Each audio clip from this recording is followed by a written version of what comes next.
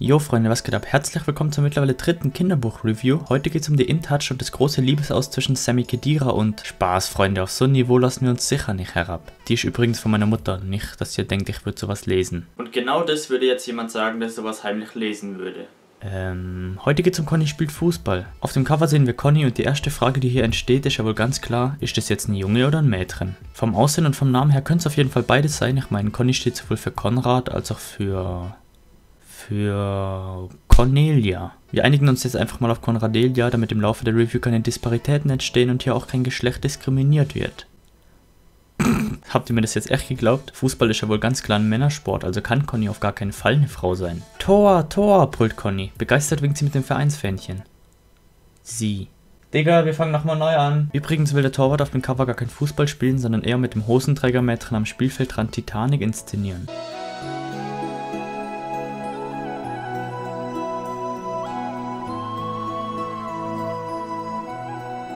Tor, Tor, brüllt Konrad. Cornelia. Begeistert winkt sie mit dem Vereinsfähnchen. Gerade hat Onkel...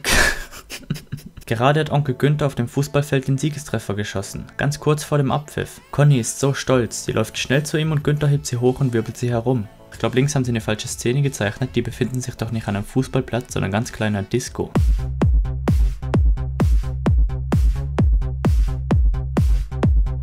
Nee, falsche Musik.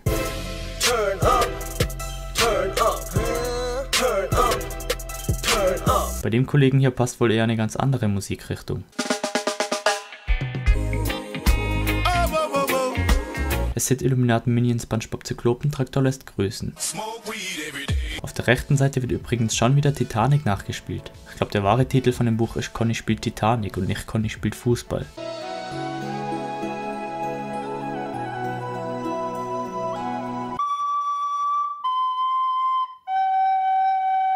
Der Typ ganz rechts hat wohl nicht ganz kapiert, dass sie Fußball und kein Handball spielen. Naja, jetzt gibt's halt einen Freistoß. Idiot. Football. Football. Fußballtor, obwohl ich gar kein Torwart bin.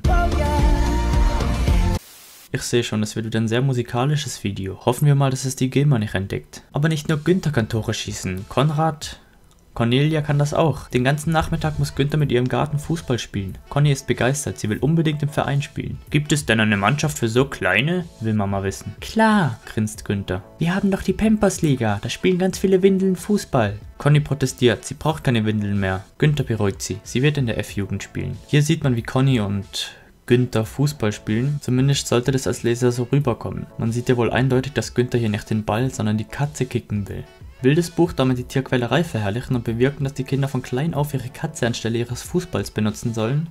Wir werden sehen. Der kleine Bruder von Conny lacht übrigens gerade Günther aus, weil er Günther heißt. Sorry, Papa. Am nächsten Dienstag holt Günther Conny ab. Er hat für sie ein Trikot und eine kurze Hose in den Vereinsfarben dabei. Was wirklich Spannendes gibt sie eigentlich nicht wirklich, bis auf das Krokodil im Hintergrund, was eigentlich ein Stofftier oder so darstellen sollte, aber natürlich echt ist, weil es Conny gerade beim Auspacken beobachtet. Und den Fußball haben wir hier natürlich auch wieder. Aufgeregt fährt Conny mit Günther zum Fußballplatz. Günther kennt den Trainer und hat ihm von Conny erzählt. Das ist also unsere neue Spielerin, sagt der Trainer. Ich bin Herr Malz, aber alle nennen mich Mauzi. Malzi. Ja, hier sehen wir Malzi, Junge, Malzi ist noch schlimmer als Alf. Wie er gerade Conny die Hand gibt und unter seinem anderen Arm die Katze eingeklemmt hat. Und im Hintergrund sehen wir wohl die zukünftige Fußballmannschaft von Conny. Malzi stellt Conny den anderen Kindern vor. Dann ruft er, warm laufen, einmal um den Platz. Alle laufen, nur Konrad nicht.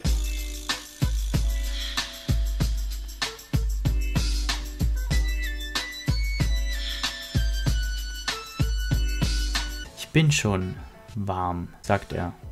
Sie, denn es ist heiß heute. Ich bin mir zwar nicht hundertprozentig sicher, was Conny hier mit ihrem Gesichtsausdruck sagen will, aber ich glaube, das ist mehr als eindeutig.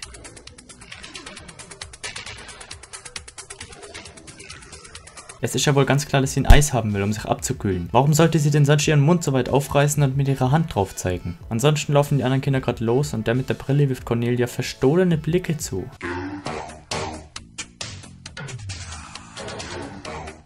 Wenn sich da nicht eine romantische Liebesgeschichte anbahnt. Malzi lacht, deine Muskeln musst du trotzdem warm machen. Nach dem Laufen machen sie noch ein paar Turnübungen, bevor jeder eine Katze bekommt. Die Pampers-Mannschaft macht hier ihre Turnübungen und der Junge mit der Brille wirft Conny schon wieder erotische Blicke zu. Wie heißt er eigentlich? Nennen wir ihn einfach mal Bernd. Der sieht irgendwie aus wie ein Bernd. Ach, steht er sogar auf seinem Oberteil. Zoom mal ran. Näher. Noch näher. Ja, genau, da steht's doch. Nun sollen sie die Katze unter einem Fuß vorwärts, rückwärts und seitwärts rollen. Hä, wie soll das denn gehen? Unter einem Fuß vorwärts, unter einem rückwärts und unter einem seitwärts. Ich sehe hier weder mich noch irgendwelche Afrikaner. Also wie will man sowas ohne drei Beine denn schaffen?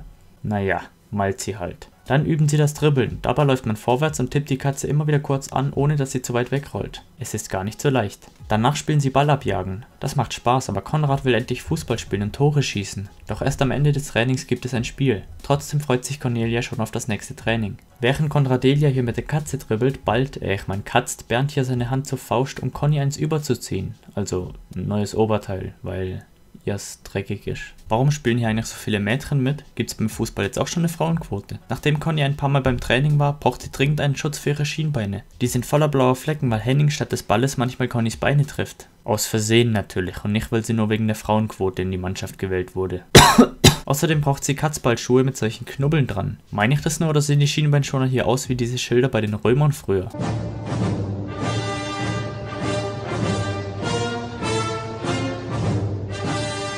Ja, ich glaub schon. Papa sagt, die Knubbel heißen Stollen. Doch das glaubt Conny nicht, weil es Stollen noch immer zu Weihnachten gibt.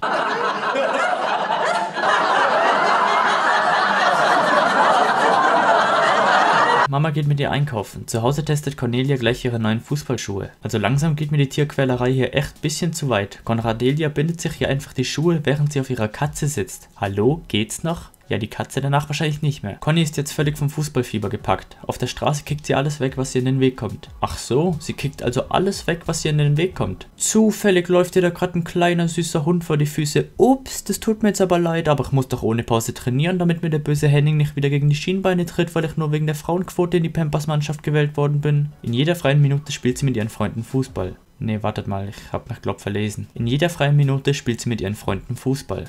Ach so, sieht mir jetzt nicht unbedingt danach aus, aber okay. Samstags guckt Conny mit Papa Fußball im Fernsehen.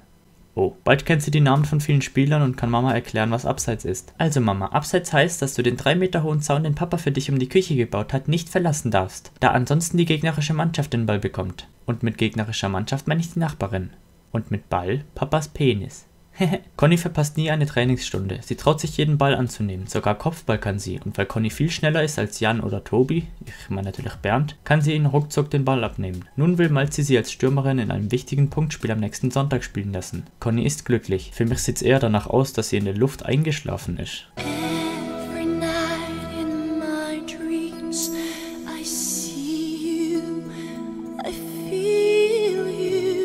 Doch am Dienstagmorgen tut ihr der Hals weh und am Nachmittag hat sie Fieber. Sie darf nicht zum Training. Conny weint. Bestimmt kann sie am Sonntag nicht mitspielen, aber sie will doch ihre Mannschaft nicht im Stich lassen. Conny trinkt so viel Vitaminsaft wie noch nie, um bloß schnell gesund zu werden. Oh, die arme Katze, die da auf dem Bett liegt und gar keine Aufmerksamkeit bekommt. Zum Glück ist Conny am Freitag wieder fit und darf zum Training. Den ganzen Samstag übt Conny Tore schießen. Ach so, erst heult sie eine ganze Seite lang rum, dass sie Fieber hat und auf der nächsten Seite ist sie wieder topfit. Hm, klar. Naja, ganz fit ist sie wohl doch wieder nicht. Entweder ist ihr Schließmuskel gerissen und nein, ich will nicht wissen warum. Oder sie sollte lieber in der Pampers-Liga spielen, anstatt in der F-Jugend. Und warum da jetzt auf einmal Pippi Langstrumpf im Tor steht, weiß ich auch nicht. Heute ist es soweit. Das Punktspiel der F-Jugend wird angepfiffen. Papa, Mama und Onkel Günther stehen am Spielfeldrand und feuern Connys Mannschaft an. Trotzdem schießen sie in der ersten Halbzeit nur ein Tor und die anderen zwei. Ob Connys Mannschaft noch gewinnen kann? Was meint ihr? Oh Gott, das ist so spannend. Aber Malzi spendiert in der Halbzeitpause allen einen Orangensaft und muntert sie auf. Er meint, die anderen sind schon viel zu müde. So, so, jetzt wird also schon in der F-Jugend gedopt. Ich hätte ja jetzt eher erwartet, dass ihn Malzi ein Malzbier anbietet. Aber Orangensaft finde ich jetzt schon ein bisschen krass. Also übertreiben braucht man jetzt auch nicht. Bernds Beteiligung am Spiel ist übrigens mal wieder überragend. Das Spiel geht weiter. Anna bekommt den Ball und schießt. Tor, rufen alle begeistert. Doch noch ist das Spiel nicht zu Ende. Beinahe landen die anderen einen Treffer, aber Torhüterin Steffi hält den Ball. Kurz vor dem Schlusspfiff gibt es einen Freistoß, weil Conny ganz gemein geschubst wurde. Pussy. Conny tritt den Ball voll ins Tor. Alle jubeln. Connys Mannschaft hat gesiegt. Wow, was ein Plot-Twist. Hätte ich echt nicht erwartet, dass Connys Mannschaft hier noch gewinnt. Also ich muss schon sagen, der Spannungsbogen war hier echt durchgehend on top. Bis kurz vor Schluss dachte ich echt, dass sie in die Pampers-Liga absteigen würden. Aber naja, bei so einer Mauer war jetzt auch nicht gerade viel zu erwarten. Schaut mal nach ganz hinten, da am Spielfeldrand. Steht da nicht Chucky die Mörderpuppe? Hier ist mein Messer, Bruder. Am nächsten Tag ist Conny sogar auf der Sportseite der Zeitung zu sehen. Schießt wie ein Profi. Amerikanischer Cop pustet bei Verfolgungsjagd eines Dreijährigen aus Versehen Gehirn weg. Äh, Conny aus der F-Jugend meine ich natürlich, steht darunter. Nun ist Konrad ein Fußballstar. Wieder mal ein Happy End.